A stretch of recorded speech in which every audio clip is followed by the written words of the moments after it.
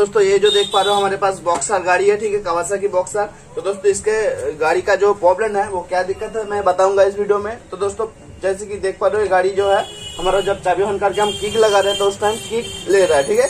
Kick लेके गाड़ी start भी हो रहा है, ठीक है? पर क्या हो रहा है, जो किक है रिटर्न नहीं जा रहा है, ठीक है? ऊपर को रिटर्न नहीं जा रहा है। तो मैं पहले दिखा देता हूँ फ्रेंड्स ठीक है? जैसे कि देख पा रहे हो एक बार दोस्तों जैसे कि देख पा रहे हो, मैं ऑन कर दिया, गाड़ी स्टार्ट भी हो गया, ठीक है? जैसे ही गाड़ी स्टार्ट भी हो गया फ्रेंड्स ठीक है? पर ये जो किक पैडल है, वो पूरा नीचे को है, ठीक है? ऊपर को नहीं जा रहा है रिटर्न नहीं जा रहा है, ठीक है?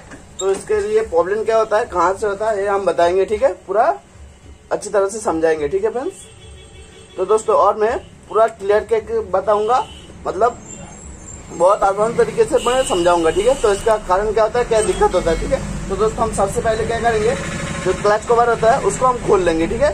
की पैडल खोल लेंगे क्लच कवर खोल लेंगे और इंजन को मतलब इंजन ऑयल जो होता है, उसको हम निकाल देंगे, ठीक है? तो चलिए फटाफट से हम निकाल देते हैं। तो दोस्तों, देख पा रहे सारा बोल्ट खोल दिया हमने की पैडल भी खोल दिया। ठीक है, आप क्या करेंगे क्लच कवर को हम खोल लेंगे, ठीक है? क्लच कवर को निकाल लेंगे बिल्कुल आराम से, ठीक है? तो जैसे कि देख पा रहे हो, इसको, जो बोल्ट होता है बोल्ट को ढीला करना पड़ता है। पर इसमें क्या किया हुआ है वेल्डिंग किया हुआ है, ठीक है? दोनों साइड से। तो इसको हम फुटेज को निकाल के बिल्कुल आराम से निकाल लेंगे, ठीक है? थोड़ा सा यहाँ पर चार मार देंगे, ठीक है? यहाँ से थोड़ा सा दबाएँगे, ठीक है? तो इसको हम निकाल लेते हैं पूरा। तो दोस्तों, देख पा रहे क्लच कवर हमने खोल दिया, ठीक है? यहाँ से थोड़ा सा नीचे करके इसको हमने खोल दिया, ठीक है? बेरिंग वगैरह सब कुछ है, यहाँ पे देख पा रहे हो, क्लच कवर, ठीक है फ्रेंड्स तो इसको हम साइड में कर देते हैं। आप दिखाएँगे स्प्रिंग टूट गया है या नहीं? तो दोस्तों स्प्रिंग इसका टूट गया ठीक है? तो मैं नज़दीक ले आके दिखा देता हूँ, ठीक है? बढ़िया से। तो दोस्तों, देख पा रहे हो, इसका जो स्प्रिंग है, वो टूटा हुआ है, ठीक है? तो इसको हम निकाल लेंगे। ये जो है, नीचे, ये देख पा रहे हो? फ्रेंड्स मैं दिखाने की कोशिश करूँगा। ये जो देख पा रहे हो स्प्रिंग टूटा हुआ है पूरा। ये देखिए, बाहर आ रहा है, ठीक है? तो दोस्तों, ये स्प्रिंग बाहर आ गया हमारा, ठीक है?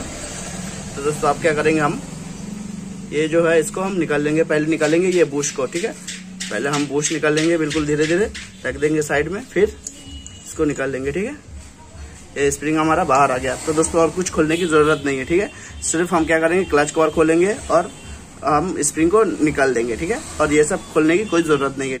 बिल्कुल आसानी से काम होता है फ्रेंड्स तो कैसे नया डालना है स्प्रिंग वो भी मैं दिखाऊँगा, ठीक? तो दोस्तों, देख पा रहे हो, ये नया स्प्रिंग लेकर आ गए हम, ठीक है? रेट काफ़ी कम है रेट बिल्कुल ज़्यादा नहीं है। तो दोस्तों, देख पा रहे हो तो हम लगाएँगे इस जगह पर, ठीक है? ये जो सड़क बना हुआ, उस सड़क में हम लगाएँगे, ठीक है? तो चलिए पहले लगा लेते हैं, देखिए कैसे लगाना है। तो हम लगाएँगे, देखिए कैसे स्विंग को लगाना है। सिंपल तरीके से ऐसे घुसा दो फ्रेंड्स ठीक है? घुसने के बाद ये जो सड़क बना होता है, यहाँ पर एक सड़क बना होता है। जैसे कि देख पा रहे हो, यहाँ पे घुस जा रहा है। तो ठीक है तो बस डालने के बाद आप बिल्कुल आराम से इसको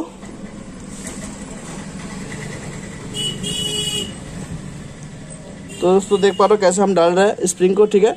बिल्कुल आराम से ये डल जाएगा ये, यहाँ पर, ठीक है? देख पा रहे हो फ्रेंड्स डल गया स्प्रिंग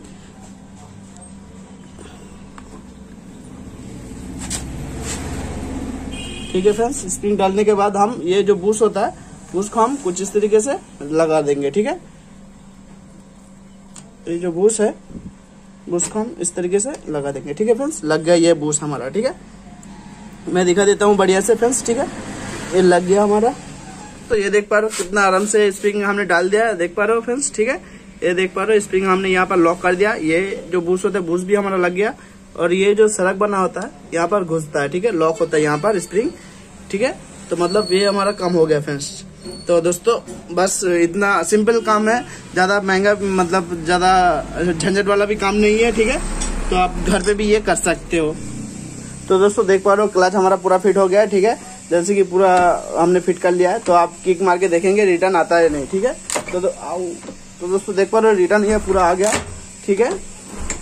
पूरा रिटर्न आ जा रहा है तो हम एक बार गाड़ी को स्टार्ट भी कर लेंगे ठीक है? देखते हाथ से होता ही नहीं।